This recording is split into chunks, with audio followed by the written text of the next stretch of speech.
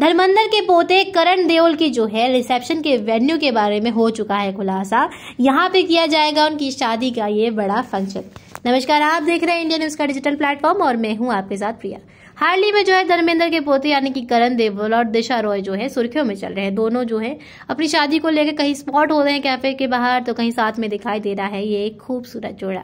इसी बीच में जो इनकी शादी को लेकर की जा रही है, कई सारी बातें कपल्स की शादी कहाँ होगी, किस स्पॉट पे होगी, कहाँ पे दिखाई देगा ये हसीन जोड़ा? इसके बारे में सोशल मीडिया पे उठ रहे हैं कई सारे सवाल। तो आपको बता दें, इनकी शादी जो है, वो तीन दिन के फ़ंक्शन में होने वाली है। जून सोलह, सत्रह और अट्ठारह में इनकी शादी को एग्जीक्यूट किया जाएगा। और ई टाइम्स की एक इंटरव्यू के दौरान और एक रिपोर्ट के दौरान ये कहा जा रहा है कि जून 18 को ताजलैंड में जो कि बैंड्रा में है, वहाँ पे जो है इनकी रिसेप्शन के जो है फ़ंक्शंस किए जाएँगे।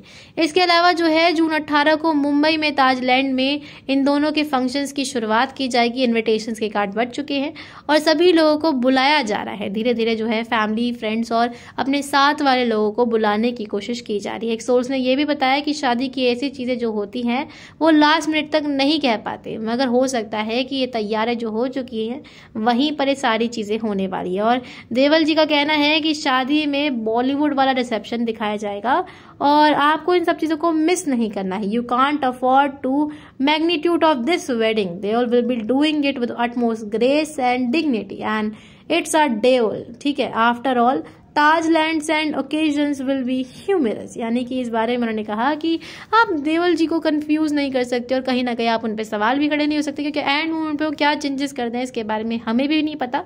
और बाय द वे वो देवल्स हैं भाई, उनका कुछ और ही हिसाब है। तो इस खबर को लेकर सोशल मीडिया पर कई सारी बातें की जा रही हैं। ऐसी और तमाम खबरों के लिए हमारे साथ जुड़े रहें। धन्यवाद।